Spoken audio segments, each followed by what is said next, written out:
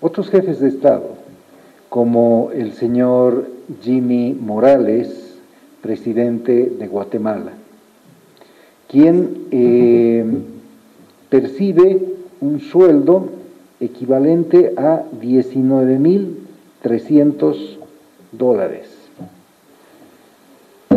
Fíjense ustedes, está en primer lugar en Latinoamérica.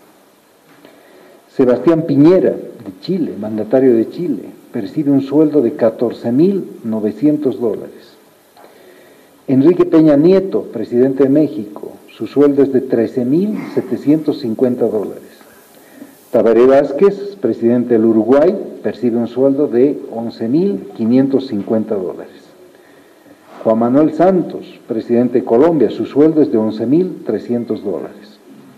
Mauricio Macri, presidente de Argentina, percibe un sueldo de 10.885 dólares, similar al que también percibe el presidente del Brasil.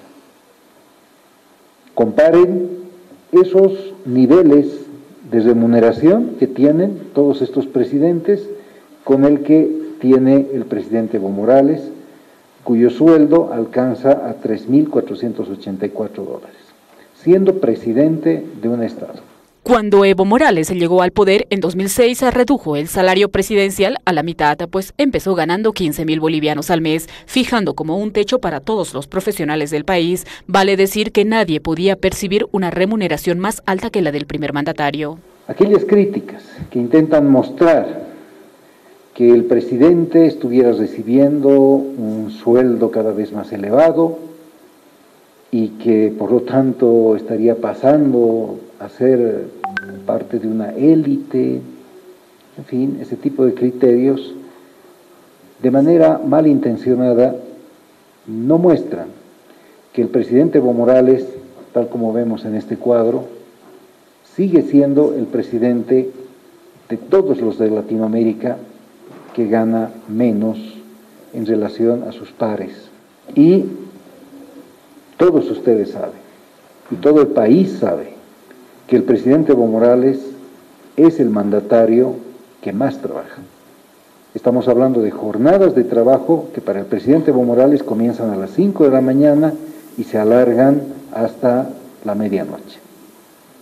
Estamos hablando de un presidente que no diferencia entre lo que son días ordinarios o laborales de lo que son feriados, sábados, domingos. Los salarios de los expresidentes como Gonzalo Sánchez de Lozada, Hugo Banzer, Jorge Quiroga o Carlos Mesa superaban los 50 mil bolivianos entre el sueldo presidencial y los gastos de representación. Desde el 2006 hasta 2016, el gobierno del presidente Evo Morales logró un ahorro de 478 millones de bolivianos con su política de austeridad. También logró un ahorro de 1.400 millones de bolivianos gracias a la supresión de los gastos reservados que existían en los gobiernos predecesores. Durante la gestión gubernamental de Gonzalo Sánchez de Lozada, de 1994 al 97, y la segunda gestión del 2002 al 2003, por concepto de gastos reservados, en, en, esos dos mandatos presidenciales de Gonzalo Sánchez de Lozada se gastaron aproximadamente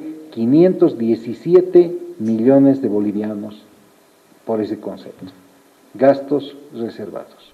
Además, el salario mínimo nacional de Bolivia subió 355% entre el 2006 y 2017, mientras la inflación acumulada o incremento de la canasta familiar en ese mismo periodo fue del 65.41%, según datos del Ministerio de Economía. Y este año, como los anteriores, el 3% de incremento al salario mínimo nacional supera la tasa de inflación del 2.71% del 2017, mientras que el 2005 la pobreza extrema era del 60.6%, al 2016 se redujo al 39.3%. La extrema pobreza pasó del 38.2% al 17.3%. En mi criterio, el aumento salarial debió ser al revés.